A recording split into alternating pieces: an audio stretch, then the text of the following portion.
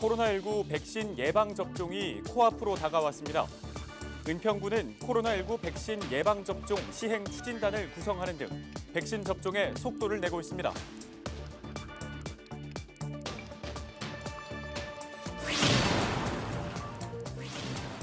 목동 아파트 2, 3, 4단지가 잇따라 1차 안전진단을 통과하면서 주춤했던 재건축 기대감이 다시 커지고 있습니다.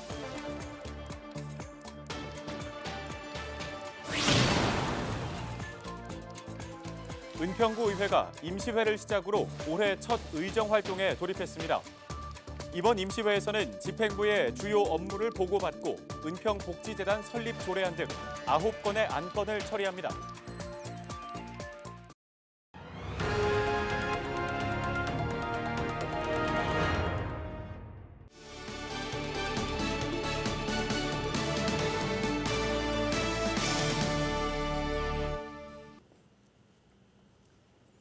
시청자 여러분 안녕하십니까?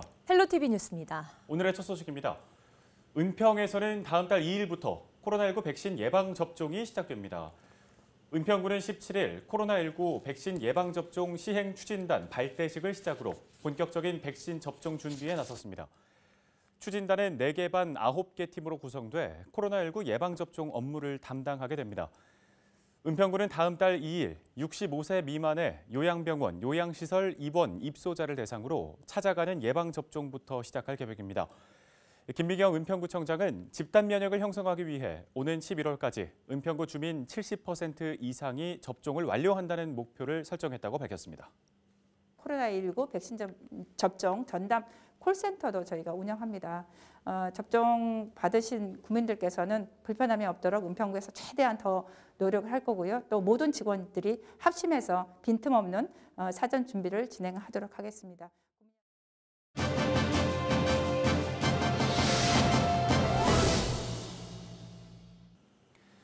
네, 우리 지역의 코로나19 백신 접종 관련 소식 이어가겠습니다. 김시환 은평구 보건소장 스튜디오에 나와 있습니다. 소장님 안녕하십니까? 안녕하세요.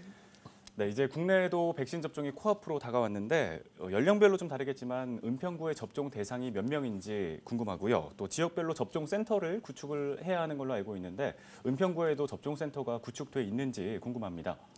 예. 어, 이번 백신 접종 대상은 만 18세 이상 모두 접종을 하시는 걸로 되어 있습니다. 네, 우리 구에서는 그 18세 이상 42만 175명이 해당이 되십니다.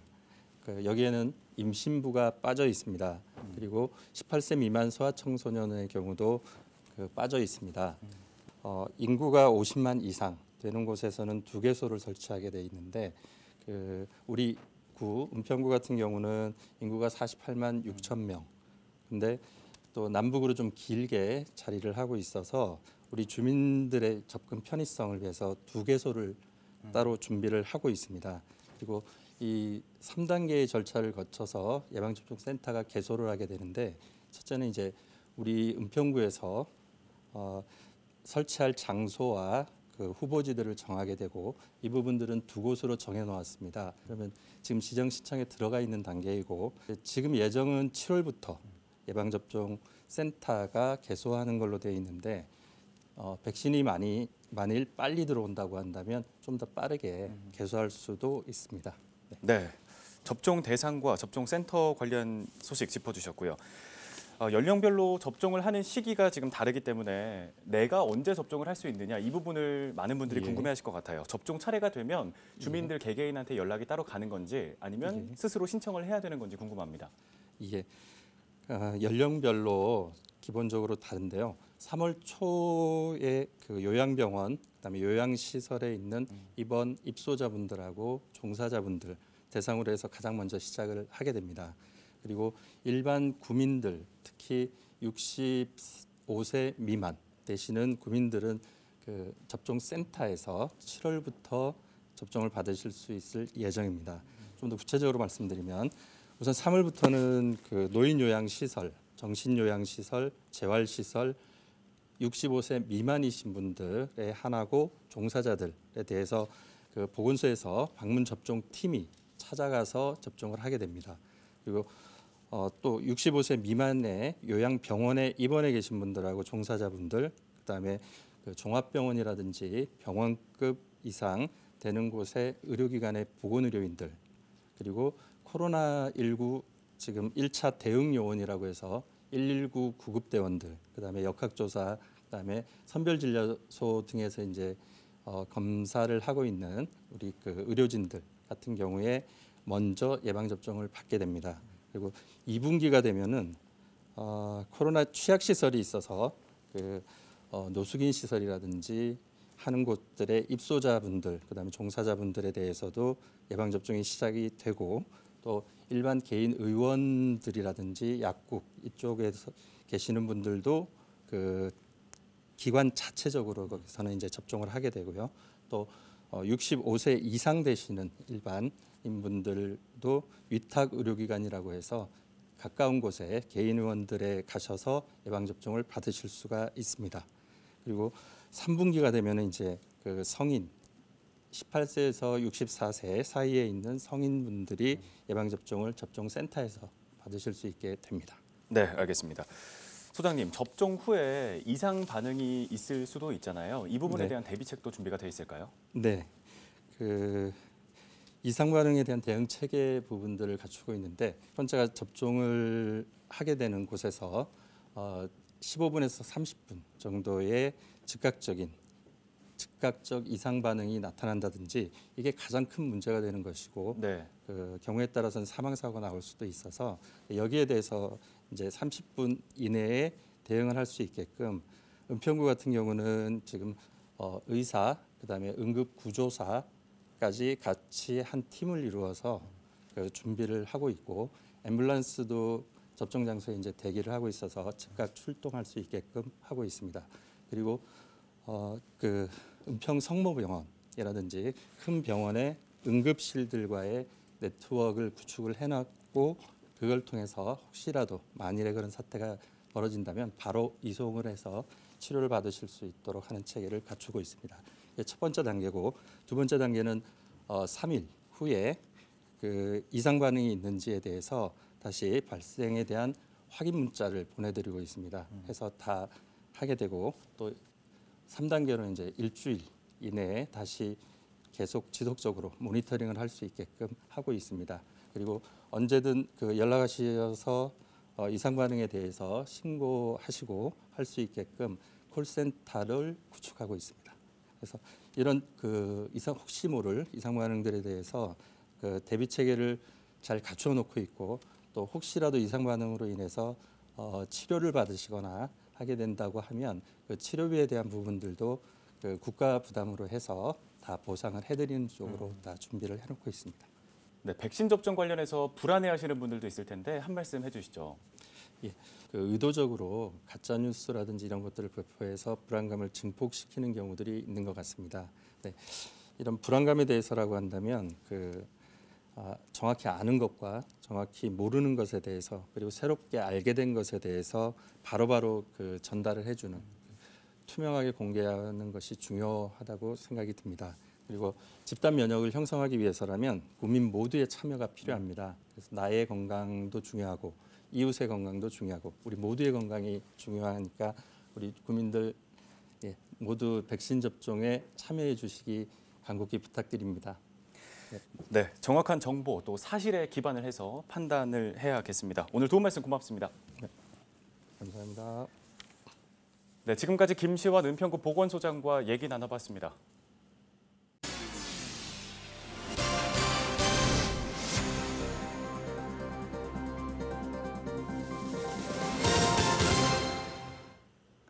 다음 소식입니다. 헬로TV 뉴스에서는 이사 부동산 대책 발표 이후 우리 지역의 부동산 동향을 살펴보고 있습니다. 재건축에 대한 기대감을 키운 탓인지 지역 곳곳에서 재건축과 재개발 사업이 급물살을 타고 있는데요. 네, 여기에 4월 서울시장 보궐선거까지 다가오면서 부동산에는 어떤 영향을 미칠지 기대감도 커지고 있습니다. 양천 지역의 수건 사업이죠. 목동 아파트 재건축 상황 살펴보겠습니다. 심다혜 기자입니다. 목동 아파트 14개 단지의 재건축 사업이 성공한다면 신도시 하나의 효과를 기대할 수 있습니다. 5만여 가구, 10만 명의 인구 유입이 예상됩니다. 2년 전부터 단지별 자체 모금을 통해 안전진단을 신청한 목동 아파트. 설 연휴 직전 2단지와 3단지, 4단지가 1차 안전진단에서 조건부 통과인 D등급 판정을 받았습니다. 앞서 6단지가 2차 안전진단을 통과했고 4개 단지가 적정성 검토 결과를 기다리고 있습니다. 여기에 3개 단지가 추가되면서 절반 이상이 1차 안전진단 관문을 넘은 겁니다. 재건축 기대감이 뜨거운 상황, 실거래가도 상승세입니다. 목동 아파트 그간지 어, 126.53 제곱미터가 21억 2,400만 원에 계약이 됐는데 이는 역대 최고의 기록을 했거든요. 행정 지원도 뒷받침됐습니다. 양천구는 올해 목동 재건축팀을 신설했습니다. 특정 아파트 단지의 재건축 전담팀을 구성한 건 서울 자치구 중 최초입니다. 재건축은 10여 년 어, 이상 장기적인 사업 에, 플래닝을 계획을 해야 되는 거기 때문에 주민과의 소통과 그다음에 주민과의 갈등이 발생되지 않도록 관리한 것이 굉장히 중요합니다. 주민들이 올바른 선택을 할 수 있도록 저희가 행정 지원하는 것이 저희의 주요 업무라고 할 수 있습니다. 하지만 안전진단 통과 이후에도 재건축 추진위원회와 조합 설립, 사업 시행 인가, 관리 처분 계획 인가 등 넘어야 할 산이 많습니다. 일시적인 바람일 수 있다는 우려도 나옵니다. 뭐 정책적으로나 선거철을 앞두고 시기적으로나 약간 바람이 들어가 있는 상태입니다. 지금 이제 1단계를 통과했다고 무조건 다 좋아할 게 아니라 선거철 이후에 좀 추이도 우리가 좀 지켜봐야 된다라고 말씀을 좀 드리고 싶고요. 80년대 중반 계획 도시로 개발돼 2만 7천여 가구가 살고 있는 목동 신시가지 아파트. 정부의 공급 정책 확대로 지지부진한 민간 재건축도 힘을 받을 것이라는 기대감이 나오고 있습니다. 헬로TV 뉴스 심다혜입니다. 다음 소식입니다. 은평구 의회가 올해 첫 임시회에 돌입했습니다. 은평구 의회는 18일 개회식을 시작으로 9일간 제280회 임시회를 진행합니다. 이번 임시회에서는 상임위원회별로 집행부의 주요 업무 계획을 보고받고 조례안 7건, 동의안 2건 등 모두 9건의 안건을 심사할 예정인데요. 지난해 상임위원회에서 부결된 은평구 복지재단 설립 운영에 관한 조례안도 안건으로 상정됐습니다. 18일 열린 1차 본회의에서는 의원 5분 자유 발언도 있었는데요. 신봉규 의원은 5분 발언을 통해 집행부의 학대 피해 아동 은평구 전담 보호 시설 마련을 요구했습니다. 직접 들어보시죠. 21년 1월 19일 정부의 아동학대 대응 체계 강화 방안 중 하나가 바로 적극적인 가정 분리 제도 시행입니다. 이를 위해 꼭 필요한 것이 은평구의 피해 아동 전담 분리 보호 시설이며 이를 통해 실질적인 구제를 펼칠 수 있는 공간으로 적극 활용돼야 할 것을 김기경 구청장께 요청 요구하는 바입니다. 이날 본회의에서는 김진회 의원을 2020년 회계연도 결산검사위원으로 선임하는 안건도 통과됐습니다. 제280회 임시회는 오는 26일 2차 본회의를 끝으로 폐회합니다.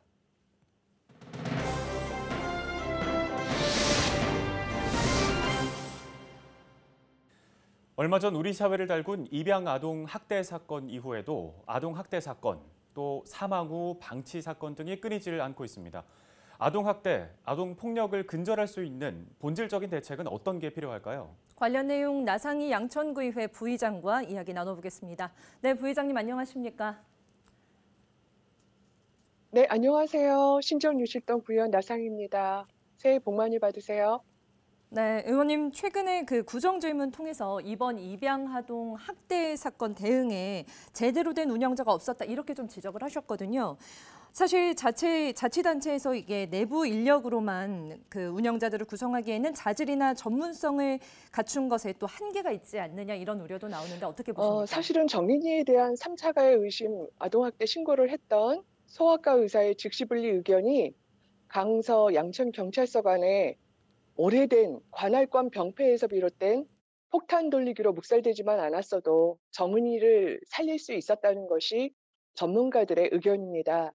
현장에서만 얻을 수 있는 중요한 정보와 증언들이 소관이 다르다, 관할권이 다르다는 이유로 소홀하게 다루어지면서 어, 이 과정에서 경찰의 일방적인 무사항일, 폭탄 돌리기로 어린이집 소아과 의사의 의견들이 묵살됐고요.